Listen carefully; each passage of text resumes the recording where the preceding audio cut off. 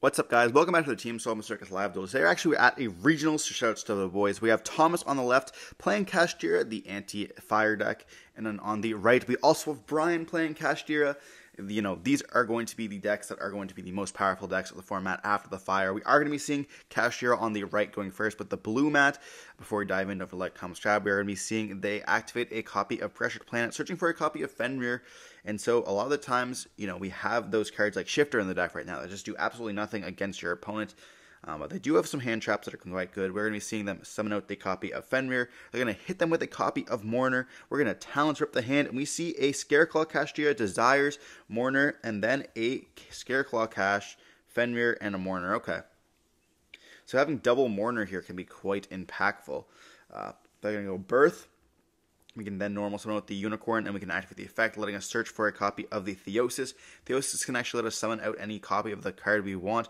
Remember, we could go for a copy of Shang, which you most likely are going to be seeing here. We're going for a Dracossack. Draco Sack can then activate effects, and we know they have the Mourner in the hand. I don't believe it can be activated twice per turn, so we're going to see them summon out the two tokens. We're going to link away one of the tokens for a copy of Link Spider, link away the second token for another copy of Link Spider here. Then we can go into the copy of the Golem thing, and then we are going to be able to activate the effect, summon it back out. Then we can go for a copy of Heat Soul. At this point, we're just trying to gain uh, gain advantages on our opponent here with those additional cards, and we're going to go Birth, be able to bring back the Fenrir here, and that's just going to be I guess Fenrir is going to be able to search for a copy of the Rise Heart. Rise Heart can also special summon himself out if we wanted to. We are going to be summoning with the Rise, and then we are going to banish a copy of the Unicorn and banishing the top three from our opponent's deck. Maybe hitting something really good here. You know, if we hit a copy of like, or like any of the, uh, any names is probably the best.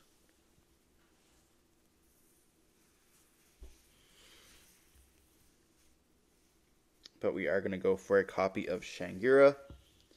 And we could see potentially even an F F zero if they did play it. I don't think they would go for Shang in this case. We do see Theosis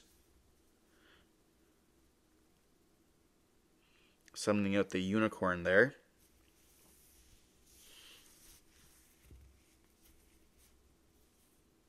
They're going to see a set one and just pass on this.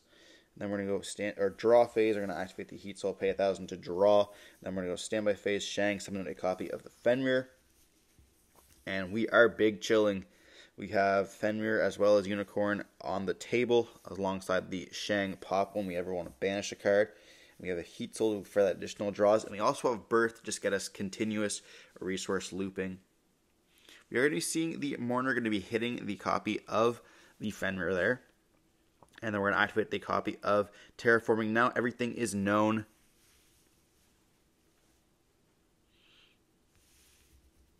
That's there just for the copy of Wraitsoth.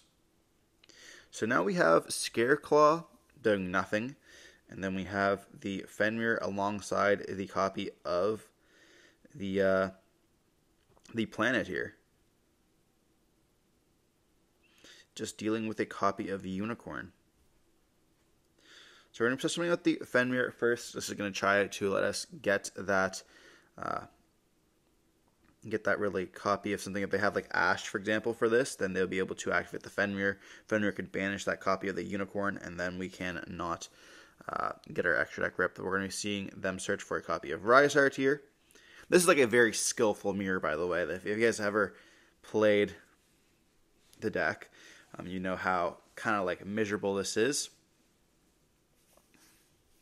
We're then going to be unicorning, or we're going to activate the Fenrir effect, going to get hit with a copy of Imperm, and then we go Unicorn, and then we're going to be able to destroy the extra deck. Then we're going to go Shang to lock a zone, and that's going to also allow us to then Pressured Planet pop the Fenrir, and we are going to be seeing, unfortunately, that, you know, that Scareclaw Kashtira in the hand is, the, is kind of the problem. Scareclaw Cash be summoning out the copy of Fenrir. Like it is skillful, but if both players are on the same playing field, and unfortunately the player on the left just does not have enough, like you know, going to be able to just get those continuous draws with the decode, drawing the cards like Imperm and like Ash. Like they did have the two Mourners, but it just was not enough, especially with the talents in the hand, which is like why it's so impactful. We're going to see Rise banishing the Birth. And we then get to banish face down. We do you have level 7s now on the field.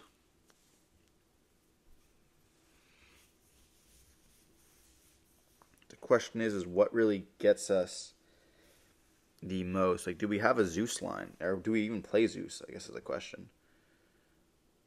We're going to see them go for the copy of the Dad, or going for the Dracossack here, I should say.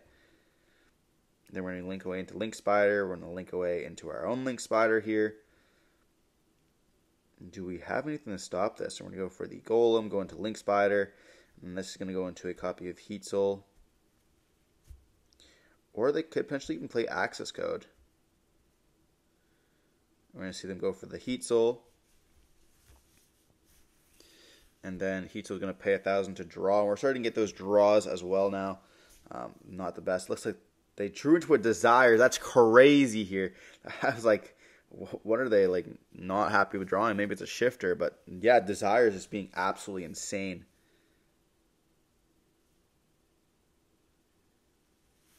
They're going to see the birth, birth banish.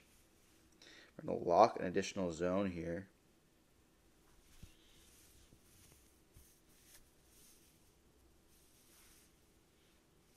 Are we going to see the Dracossack plus decode going to an access code?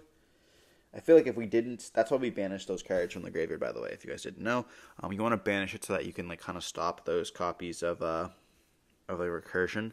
I mean, obviously they don't have cash monsters in the graveyard, so it's not really important. They the once the Scareclaw cash is gone, um, so they could have banished it face down. But if they they really wanted to stop like the access code lines, putting numerous materials in the grave, you know, if they do that, they're kind of left on essentially just the fire that is the heat soul, and then of course if they want to use the on-field effect using itself as a dark, that's fine. But like stopping having two pops and then three pops, and chances are they don't want to get rid of their access code is quite problematic. So.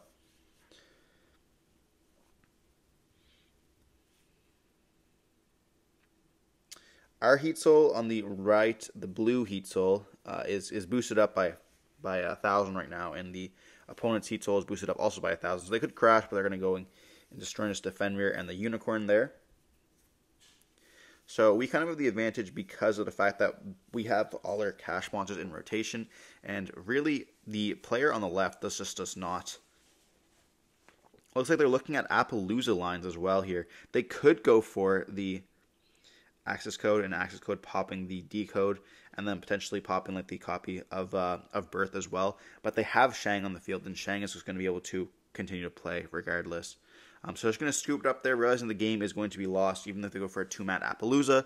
You know, Apollousa is going to obviously negate that Shangri-La, um, and then Shangri-La. I think that the I'm pretty sure that the effect of race off only just says if a card's activated. It doesn't actually have to resolve. So they could just activate it and then pop the Apollousa on the field. Therefore, just going to be like a one mat Apollousa that just stops the copy of uh that stops the Shang and like Shang does nothing because we really have Birth and then Birth searches for a copy of Fen or Birth summons out the Fenrir from the graveyard. Fenrir searches, and that's just going to be just game there. So definitely just a losing position for us, which is just unfortunate that Imperm really set off.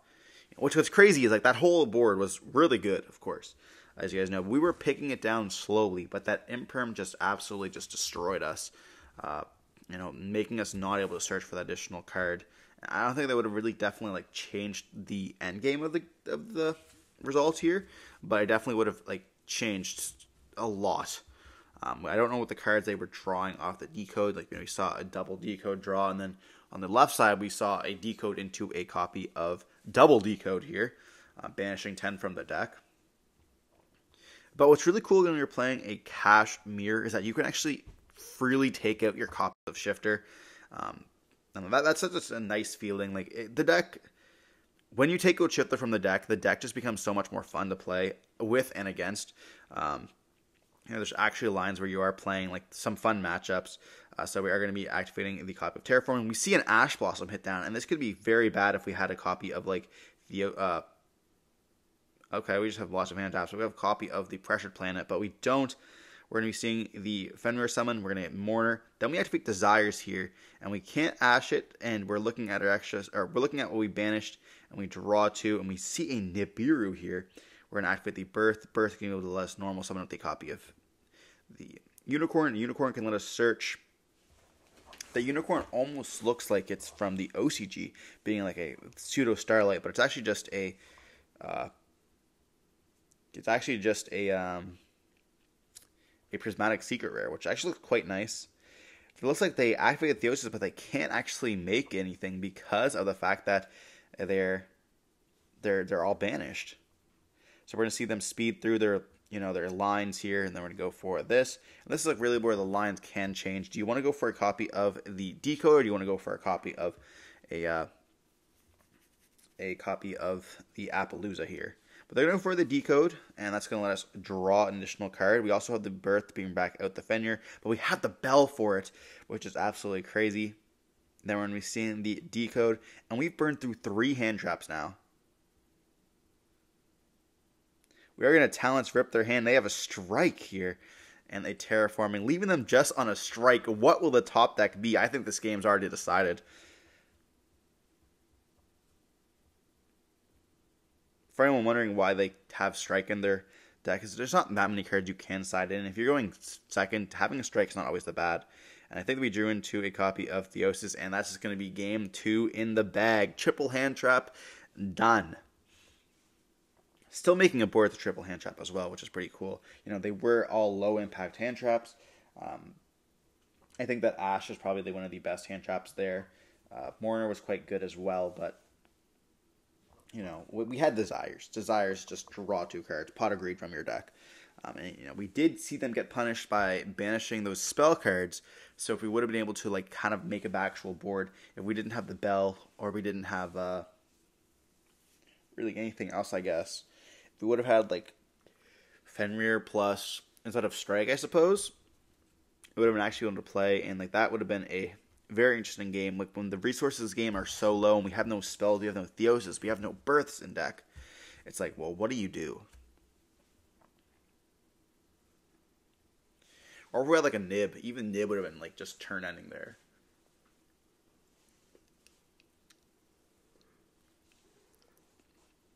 But going on to game three, we are going to be seeing Kashtira on the right side, going to be able to choose going to go first or second. And there is arguably that you could make your opponent go first. You know, we saw what was in back in Kashtira format when Kashtira was the best deck. Kashtira going second, which is absolutely insane. Which we do see here. You know, talents being a card that's just absolutely destructive. Um, so they're going to go Fenrir. Fenrir going to hit with a copy of Imperm, set one pass, and this is what I mean. We could just take a card with like this. If we have a talents or anything like that, the game is essentially Oh no. They bricked. So they just pass once again. Then we're going to see them go Fenrir search. Oh no, going for a copy of Rise Heart.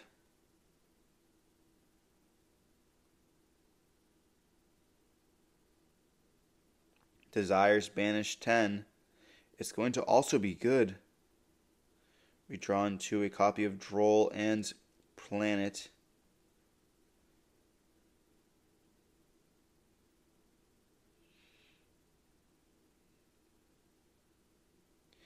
We see Rise being normaled, activating the effect. Banishing for cost. And they look at their banish pile once again. Banishing a copy of Birth here.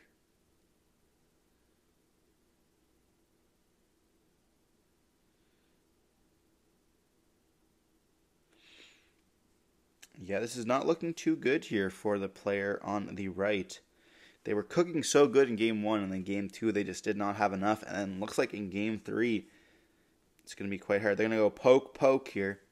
You know, you can't afford to go for those these slow games. You know, sometimes that you don't have to really make these big powerful boards. A Fenrir can sometimes just be enough.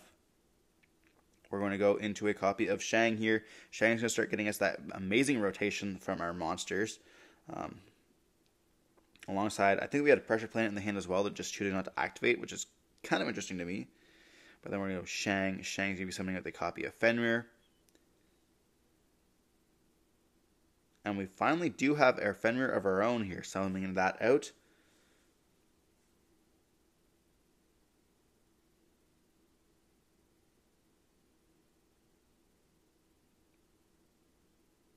We have a bell. Perhaps we're going to see a bell normal summon go into a copy of the Baron. We are going to be seeing the Bell normal. Okay. Then we're going to go into a copy of Baron. I think we have Birth in hand, which is why we are doing this. Birth, we're going to go Baron effect to destroy the Fenrir. We do have the Imperm. We're going to be bearing the dating this. Wow. We do have the Birth. Okay, so Birth's to be able to bring back out the Fenrir and like we have the pressured planet in the hand, so it's just like they're probably thinking themselves, "Oh well, why did I not do that?" But it, it wouldn't really make a difference. They didn't banish anything face down yet. Then Fenrir can now search. We're searching for the rise. We have normal summoned already, therefore we cannot do that once again. But they could special summon out. We had the droll as well here. And then we're going to activate the effect of the Fenrir Banishing face down. They're going to go Battle Phase and attack for 54 here. And we could have gone Rise Heart, right? Rise Heart 54. That would be the. Yeah, it wouldn't have been game, but we could have brought it, them down, you know, they're 15. But. Rise Heart Summon beat him over for 15, and then we could just banish. Just like we're gonna be using it anyways, right? So we might as well. Yeah, if we bring them down, we're at 54. We attack them for another 15. That's now 69, and then we go like overlay for our copy of uh of whatever it's called the the burn card.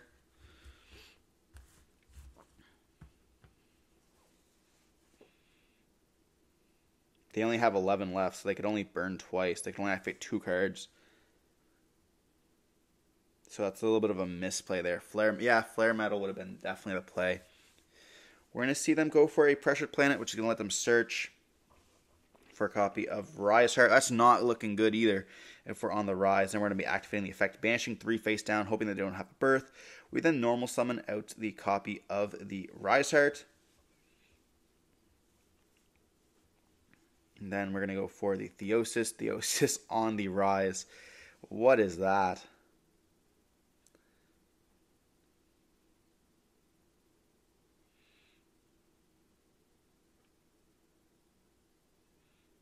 We do have the Veiler in the hand. I definitely think that we would have like we would have instantly won that, wouldn't we? We're gonna go for a Scareclaw Kashtira. That tends to mean they don't have any of the good cards left in the deck. We're gonna go battle phase into the scare. Well, Scareclaw gonna go battle phase into the Fenrir there, and then we are going to go Rise Banish Theosis, getting hit with the Veiler, and then we are gonna be Theosis adding back the Birth.